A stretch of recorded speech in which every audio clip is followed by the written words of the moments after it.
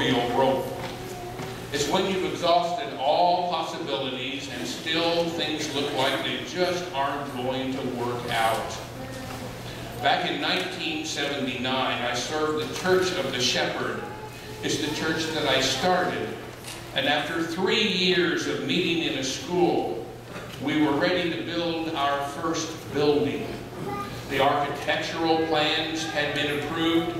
The congregation was ready to take on the deck of the building, and I was so excited to get the building process started. There was just one problem. At that time, Iran was holding our embassy uh, captive, and interest rates were sky high. Prime rate was 20%. The gasoline lines were never ending. Remember that time? The problem we faced was that nobody wanted to loan the new church the money for the building, and I was devastated. I mean to say the chance of us getting a loan looked bleak. I remember calling our mom and telling her the news. She wouldn't allow herself to hold a pity party for me. Instead, she said, so, you're at the end of your rope. Tie a knot, hang on to it, remember that God has a hold of the other end. I thought about her words. Was she just plain Cinderella? By midweek, I received something in the mail from Mom. It was a plaque with a rope on it with two knots tied on the ends. And in the middle is a brass plate with the following inscription. End of my rope. B. Boulware, 7879. And here it is.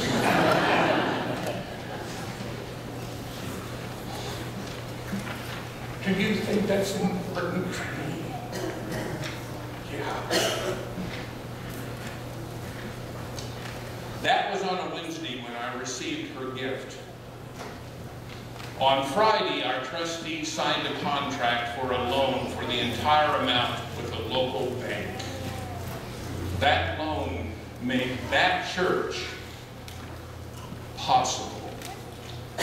Possible.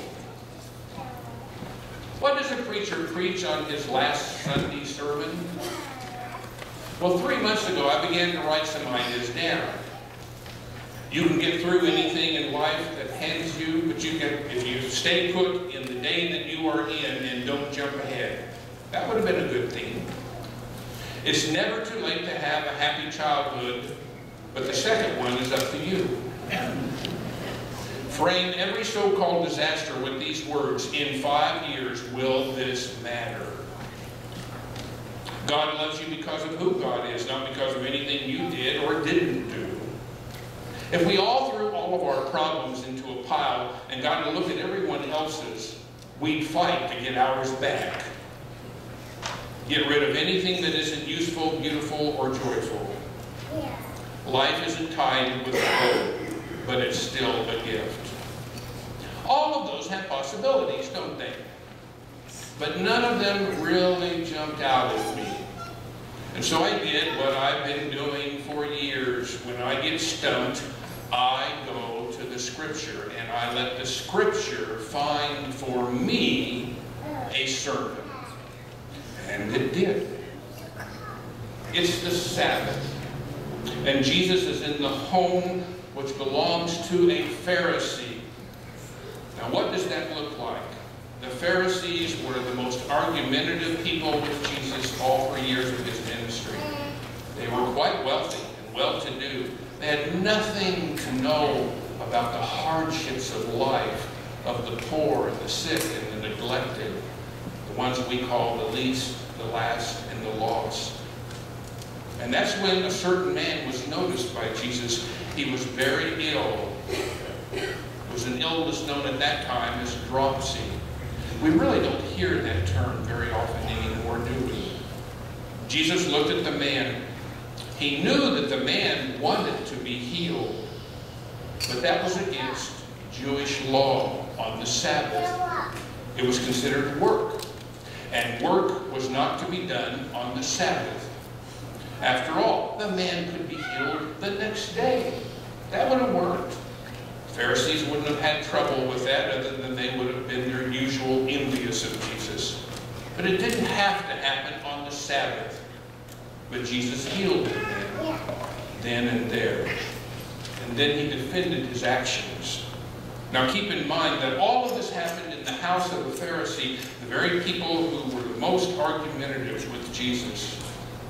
Even the first verse tells us something where I read, one Sabbath when Jesus went to eat in the house of a prominent Pharisee, he was being carefully watched. That's the first verse.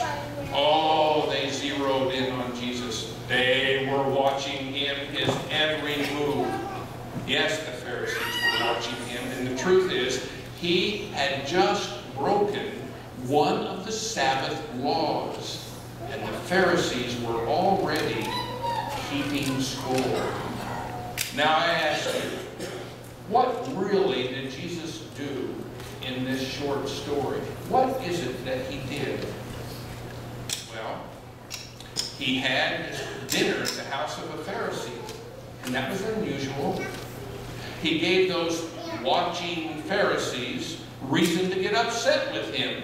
He broke a Sabbath law. Something else Jesus did, he healed a man.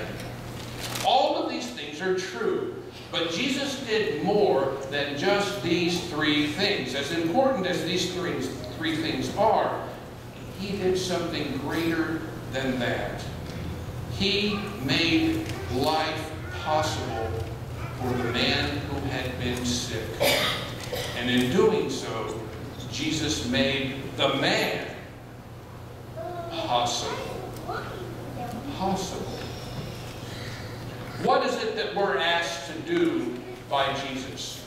Go into any church in this community. We're all asked to do the very same things. We are asked to make something possible, and along the way, we end up making someone else possible. Let's face it, Jesus, by healing a sick man, just made life possible for that man, didn't he? His whole life now is changed. It will not remain what it has been. He has a whole different outlook on life. And the possibilities of his life are now through the roof because he's well. When you think about it, that's what ministry is all about. In whatever church you are in, making things possible so that people can become more possible themselves. That's what a church is all about. Jesus was not going to get caught up in a debate over the Sabbath laws with the Pharisees. Oh, that's what they wanted. But Jesus didn't allow himself to be pulled into such an argument. There were more important things to do. Healing a sick man, making life for him more possible, making the man himself more possible. True story. A certain mother lived in Laguna Beach, California, and her daughter lived two hours away at Lake Arrowhead. For several years, the daughter had been asking the mother to come up to Lake Arrowhead to see the beautiful daffodils when they were in full bloom. Finally, the mother, named Carolyn, made time to visit. In her own words, Carolyn writes, after about 20 minutes, we turned onto a small gravel road and I saw a small church. And on the far side of the church, I saw a hand-lettered sign which read, the Daffodil Garden. We got out of the car and walked down a little path, and then I looked up and gasped. Before me lay the most glorious sight that I've ever seen in my life.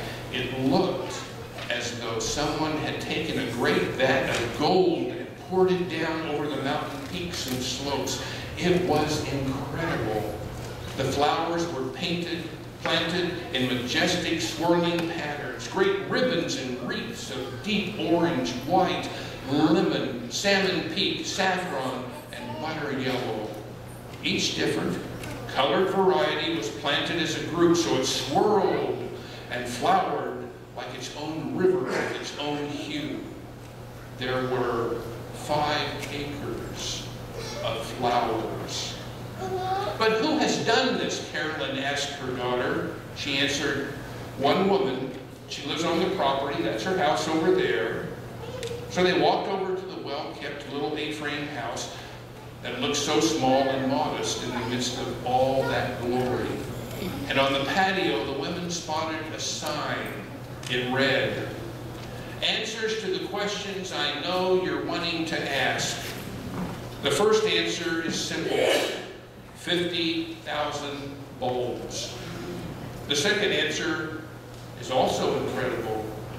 It said, done by one woman, one at a time, two hands, two feet, and a bad back. And the third answer said, began in 1958. Giant trees don't appear instantly and overnight. And beautiful gardens don't appear instantly overnight either. And you know that same thing holds true for your life and for my life too. Sometimes the loan of a new church is trying that is trying to acquire doesn't happen overnight. So you tie a knot in a rope and hang on to it, trusting that God holds the other end. And sometimes it rains, and sometimes the sun shines brightly, and sometimes it storms, and sometimes it's absolutely gorgeous outside, and sometimes things go wonderfully well, and sometimes things go poorly. But the real question is, what is it that your life is trying to make possible? And whose life will be made possible along the way? And I wonder what you might say as you respond to those two questions this morning. And here's the flip side of what I've said so far. There have been many people who have made you possible again and again and again. I think of my parents and my teachers and my grandparents and my sister and my brother-in-law and my children and my friends and my countless more in the churches that I have served who have helped make me possible. But if I turn around in my memory, I can see so many people who have been there for me in so many different ways, which have brought me to this very present moment in my life. And when I think of all those people, the ones who helped make me possible, I can only respond with a heart overflowing with gratitude. And you, this very congregation, just think back and remember how far you helped me become possible again. I came here a broken man, a divorced man, a wounded man. And today, I am healthy and happy, and I'm whole. You helped make life possible once again for me. And no has done that more for me than Becky. That's what God would have us do with each other. Make something possible for others so that they can become possible themselves. That's our mission. If anything explains life, our very existence, well, I think that's what it's meant to be. The first day, God created the dog and said, Sit all day by the door of your house and bark at anyone who comes in or walks past. For this I will give you a lifespan of 20 years. The dog said, that's a long time for me to be barking. How about only 10 years and I'll give you back the other 10? So God saw that it was good. We're going to go home and begin cooking. So God saw that it was good. On the second day, God created the monkey and said, entertain people, do tricks, make them laugh. For this I'll give you 20 years of life. And the monkey said, Monkey tricks for 20 years? That's a pretty long time for me to perform. How about I give you 10 years back like the dog? And God again saw that it was good.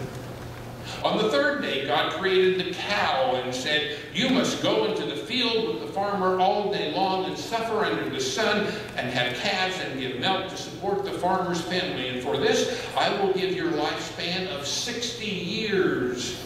And the cow said, Whew, that's kind of a tough life if you want me to live for 60 years. How about just 20 and I give you back the other 40? And God agreed, and it was good. And on the fourth day, God created humans and said, Eat, sleep, play, marry, enjoy your life. And for this, I will give you 20 years. But the human said, Only 20 years? Could you possibly give me my 20, the 40 the cow gave back, the 10 the monkey gave back, and the 10 the dog gave back, and that will make me 80. Okay? Okay, said God, you asked for it. So that is why for the first 20 years of your life, you eat, sleep, play, and enjoy yourself. For the next 40 years, you slave in the sun to support your family. For the next 10 years, you do monkey tricks to entertain the grandchildren. And for the last 10 of years, you just sit on your porch and bark at the people as they go by.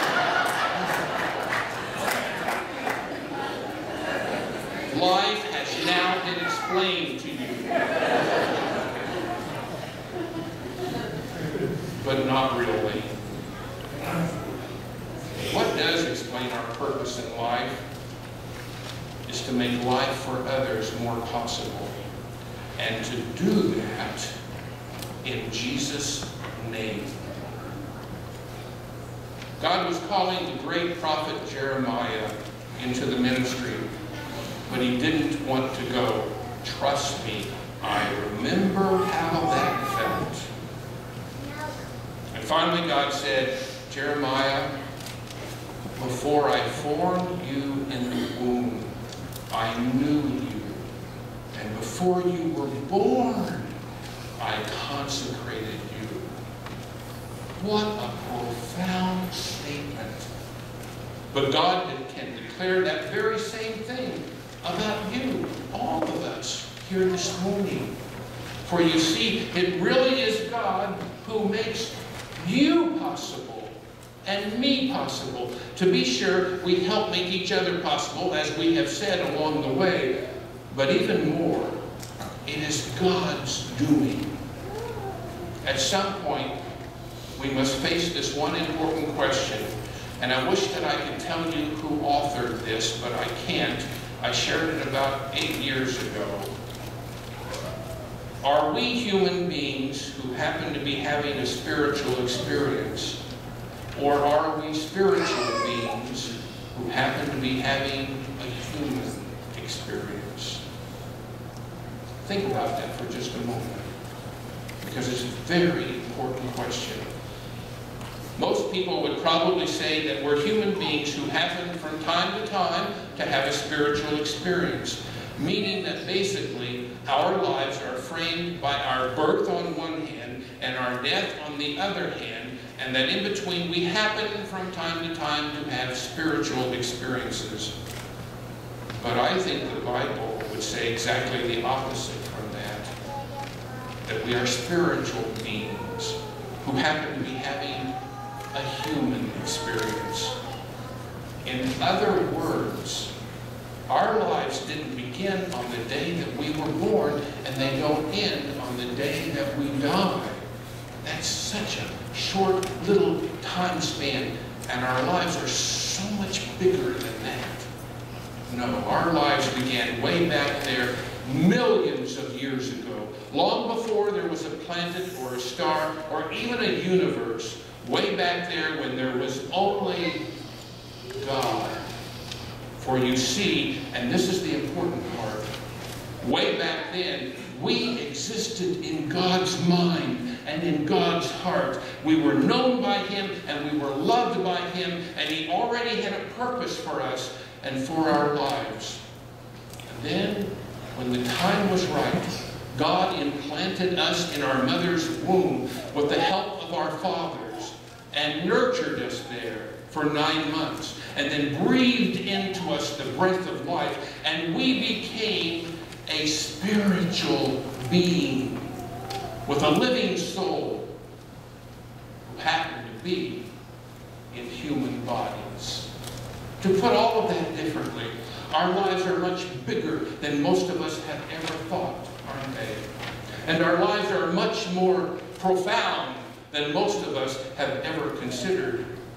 And that's why we should always be a source of encouragement for each other, making things, good and wonderful things, possible for other people so that they can be themselves possible for the people around them. And it is by the power and the presence of Jesus Christ that we are able to do such things. And none of is unintentional. For this is what God would have us do. And some of our possibilities take time, even a long time, like planting five acres of daffodils. And some of our possibilities require us to wait, like a mother's reminder to tie a knot on the end of a rope and to hold on to it, believing that God has a hold of the other end. But all of it, always, is under the direction and the purpose and plans that God has for us. Before I formed you in the womb, I knew you. And before you were even born, I consecrated you. And he whispers in your soul and in my soul each and every day, let's make something possible today. Let's make someone possible today together. When God whispers like that, it leaves us yearning for more of Him. You see, I truly believe that there is a yearning in each one of us. Why? Because we're spiritual beings, not just human beings. Each one of us can say about our own spiritual self, there's a yearning in me, hidden in my sighs, too deep for words. There's so much I don't understand or even perceive, but it's there, all there. Feelings, hopes, intuitions, longings, and it all comes together when I sigh. There's a yearning in me to believe that the universe is held together at the center, that there is a God somewhere in the whirling galaxies upon whom I can hang my hat and pin my hopes. A yearning in my restlessness that will not rest. A yearning in the meaningless rat race to be and to stand. A yearning to reach through all the walls of death and hate, to shake hands with life and love. A yearning to belong, to create, to participate, to feel valued from the core of my creation. A yearning to sing in tragedy and through death the praise of life. There's a yearning in me to let my sighs lengthen into songs cascading through creation, ricocheting off of the stars and echoing in human hearts and resounding in my heart with a joyous Amen. I believe each one of us has a yearning like that in us. And why? Because we're more than just human beings who every once in a while happen to have a spiritual experience. We